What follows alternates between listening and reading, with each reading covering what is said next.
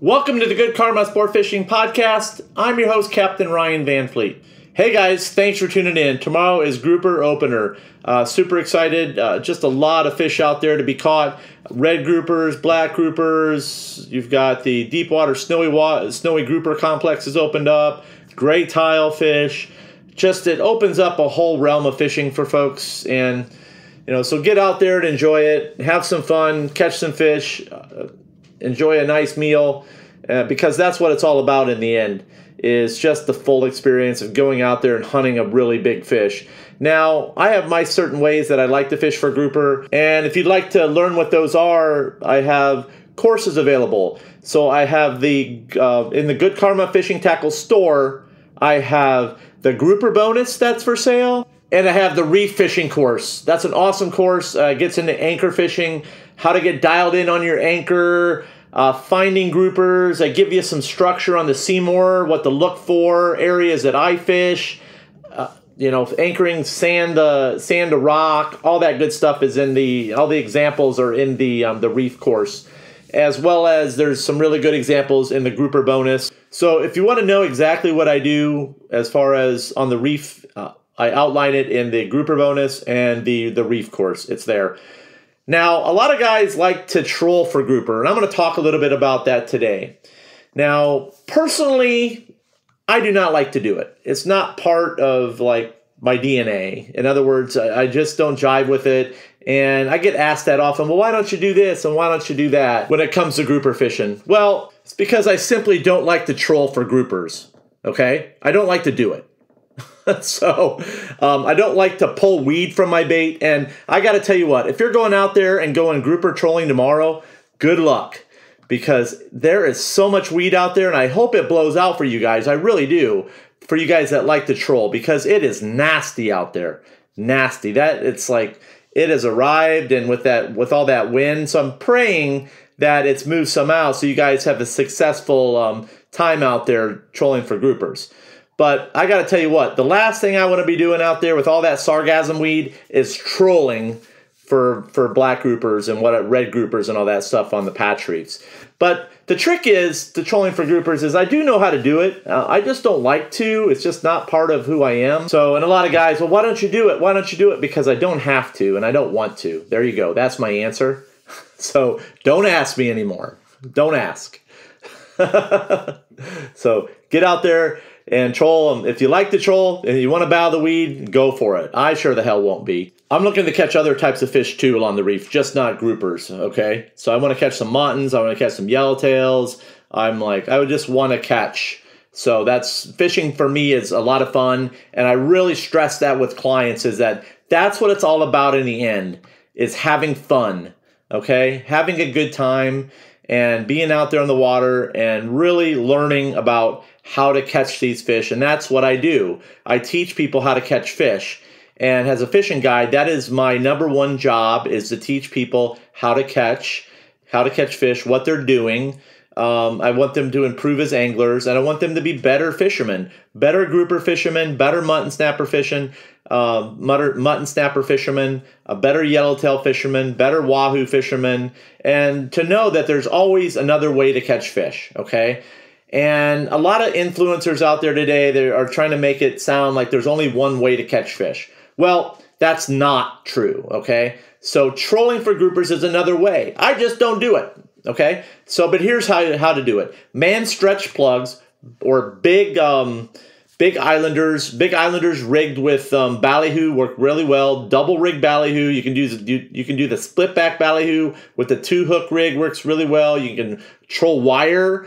Uh, you can run your LP reels, or and there's a lot of guys that have LPs. You can run them on planers, and you can run uh, Tactacom balls. You can run all those electric reels. You can do that with bent butts. Now the trick is, is you got to run them way back there. You got to get them really deep uh, big trolling leads, and and then you run them like two to four miles an hour, get them down there. Now, where do you fish? Uh, one thing you can do is I feel that the north wind, when the wind blows out of the north, trolling for grouper is, is can be really good. Okay, so if that if the water's really clean, you want to look for the edge. Okay, you want to find the edge of the reef, and that's where they're going to be at. So you find their edges and you, and you can see the rock and you want to troll on the outsides of them. Now, if you get hit, you really gotta like, like, you really gotta move them out of there quick. Okay. Now, Seymour map. Uh, just remember that Seymour map is now a public map, so those spots have been hit pretty good. But what you can do is that you can pick out isolated like patch reefs in like 20 to 30 to 40 foot of water. Uh, I feel the best areas for trolling grouper are like French Reef area up to the um, the elbow area. The the patches up there are really nice, and the grouper tend to get in those areas like by the Spiegel Grove area inside those patches. Um, like in they get in there and they're in there now okay? So they're in there now. So within the next couple weeks and you get some clean water and you're out there you can get the um, the big Mann's Stretches you can use the big islanders you can use you can use the um, the nomads work really good okay? If you run your nomads on electrics and you run them way back there with um, your lps or a big 80 wide a 50 wide uh, you can run them shorter. Like I said, to get them deeper, you have to, you know, you can follow all that stuff that they have on their package. Uh, so that's another option for you guys that don't want to set the anchor and and and chum and you know, or you can wreck fish and the Duane is going to have a shitload of groupers on it. The Eagle Wreck, tons of groupers there. Uh, all those areas are going to have groupers. Okay, all those public wrecks are going to be loaded up with groupers so if you get there first, you're going to catch them. Like the guys will be probably camping out there tonight on the Duane rack and the Bibb rack and all those all those wrecks looking to catch groupers. So you're all those public, like I said, all the public wrecks are going to have them. All the public numbers are going to have them as far as public wrecks go in shallow. Uh, so don't overthink it and just go fishing. Just run your planer setups. Use 80 wides, 50 wides, number eight planers, get in there along the reef, adjust accordingly, pray there's no weed, look for the clean edge. If you if the if the visibility is awesome, you really got to have somebody looking for the looking for the ledge. And that'll really help you guys get dialed in. I feel the north wind fish is the best best for them. So, or you can go grouper bombing. Okay, grouper bombing. And that's you can buy my grouper chum ball mix video and there you go grouper bombs. I've got that in there and yeah make some chum bombs. Have some fun. So if trolling isn't for you you can like catch them with spinning rods using the grouper bombs chum ball mix. So i talk about grouper bombs and what that is is i i put a big piece of meat in a chum ball and i use a i use a big spinning reel and with a heavy with heavy drag and I send it to the bottom and I catch them using spinning reels. So yeah, I the story behind that is many years ago when I first started I couldn't afford to buy weight. So I had to come up with a way to get baits to the bottom where I could catch groupers, okay? And I knew that chum balling was the way to go because I worked on a commercial boat and I learned how to chum ball, chum ball. But the sand thing wasn't working for me. It was hard to get a hold of and then what's so much fun about it is you can add stuff to it and make it better. So which is very cool. But um, I want to share a little story with you guys. When I first started, there was an influence out there. He's still out there to this day. And I was really like learning how to catch fish. And, and I couldn't afford to buy weights and I was very like I mean when it, I could I could afford to buy some line and everything I could do to like keep my charter business going because starting a charter boat business and doing it yourself is takes a lot okay? So by the time i got done investing in the boat and doing all that and getting it going i started out like just doing what i could to to catch fish on and like get my business to work okay? So i did a lot of grouper fishing during season. And i like i said i couldn't use weights because i didn't have any. And it was a treat when i got to go out and buy three weights because all my money went back into my boat for gas. And this went on for several years. And everybody started seeing that I was catching some fish. And then I started getting some messages from some influencers. And then what was happening is is that they started messaging messaging me out in the water when and showing me what they were catching. And like they would kept sending me pictures and pictures and pictures and pictures while they were out there with now, you would think that somebody that was doing that would offer assistance. And instead, it turned into like a bragging thing is that I'm better than you. Okay. And they, the guy was trying to put me in his place. Again, I'm not going to share who this was, but still out there. And what that did was it lit a fire under my ass.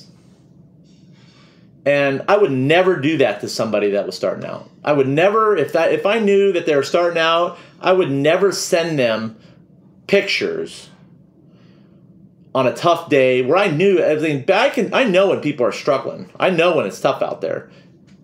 So, but I would never do that to somebody. Okay, and if somebody does that to you, you should really look at them twice about whether they should be in your life or not. Okay? Now, I used it as fuel and to get better. And that's what I did. And I really worked hard at learning the grouper fishery and developing my own style. I knew that I didn't want my style anything related to that guy's style. I wanted to wanted it to be my own. Okay? Because there was never like it, like a lot of guys look look for mentors and all this stuff. And as I was doing that, I was like, you know, someday I'm going to get to a point where I can do this podcast and share stuff with you guys and create a group of for guys that really want to get better, a private group, and that's where I'm at today. And I just want to thank that guy for doing what he did, okay? Because it lit a fire up my ass to get better and to help others. And I know this podcast has helped others. Now, and you know, I've lost a lot of listeners over the years, but they weren't the right listeners, and they eventually come back because they know where the they know where to get the nuggets. And you guys know who you are because I know you're listening. And I just want to I just want to let you guys know that I'm going to continue doing the podcast. I've just been really busy with work and I'm really working on trying to get this YouTube thing going for myself and it's just and I'm right now I'm working on the um, the Chris's Bait and Tackle Shop which is now owned by um, there's new owners and I've been like helping them get things going there and I'm going to put stuff in there for you guys stuff that I use personally I'm working on getting a full line of BKK hooks in there I'm trying to get keep stuff and I'm going to really help you guys as far as leads um, I know that you can only sometimes only buy a few things and you can't buy things in bulk. So that's what I'm working on now. So I got a lot of things in the fire and I'm going to really work on keeping the podcast going here over the next uh, over the summer and just continue it because I really like doing it. I really like sharing. Now, just know that certain things in your life you're going to have things come in you're going to have things go you're going to you're going to have bad days on the water where you're going to like feel like the world's crumbling down on you well that isn't the case you got to go fishing i mean if you're a recreational angler and you got to go fishing on the ocean i mean you know how many people in this world like dream of doing that like especially for us living in South Florida, there are people all over the world that just dream of doing ha- having a boat and being able to take it out on the ocean and catch fish. I was one of those guys. Now I talked in my last podcast about using satfish. And using satfish you can fish from home. You can study the currents every morning. Instead of pulling up all this crap on youtube and pulling up instagram feeds you can pull up satfish have a cup of coffee and look and see how the current's moving. And that's what i like to do. I like to pull it up in the morning have a cup of coffee and get my day started by just watching the currents and seeing what's happening on the reef. And I got to tell you what, as far as user friendly goes, as far as looking at the current, and Satfish for me is is really nice. And like I said, I've been like I said in my last podcast, I've been using it using it since last September. Otherwise, I wouldn't be talking about it. So, like I said, I stand behind the things that I promote, and I am I really love Satfish. Now, you can purchase Satfish for $129 a year, and you can actually get it as a 30 day um, a 30 day trial, which is what I did at first before I decided to buy it. Now, what you do is just go to the website, and at checkout, you can enter Good Karma has a discount code, and you get get twenty dollars off your first year, which is pretty awesome. So. That's a little nugget for you guys. Um, fish at home, study the currents, put your time in at home and on the water Everybody says that time on the water, time on the water. Well, it's time at home too. Time at home too. Less time watching crap, more time studying and getting better. Okay? More time studying and get That's all I got for you guys today. It was a little longer podcast, but I wanted to share that story because you know, coming up, you know, it's um everybody has their challenges and I have a lot of challenges in my life. So I work hard every day. Uh, Melinda has helped me with her energy healing to deal with a lot of stuff that's going on in the fishing world. And I got to tell you what, it's made a huge difference in my overall general, um, just overall, my mental state, how I'm viewing, like how I'm going about my day to day now.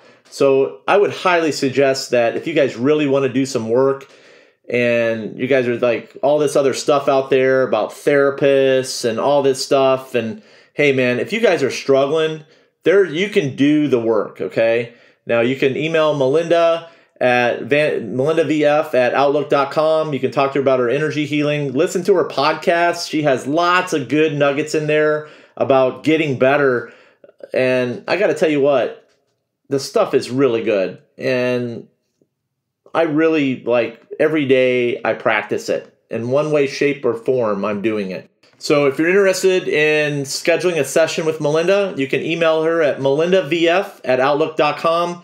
I have to tell you, in the fishing world, there's there's you got to have like you got to really really really really really be in tune with what's going on out there. And if you have a lot of clutter in your life and a lot of things that are going on, you need to heal yourself and then watch what happens, okay?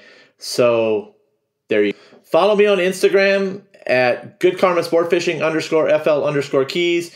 And if you're looking to book a trip this summer, you can email me at goodkarmaryan at gmail.com. Subscribe to my YouTube channel. Uh, I'll probably be putting out a YouTube this week. Maybe if my clients will let me do some shooting, I might little put together a little um, collection of um, grouper fishing stuff, you know, over the course of the next few weeks that I'll put out for you guys in a, in a, in a YouTube video.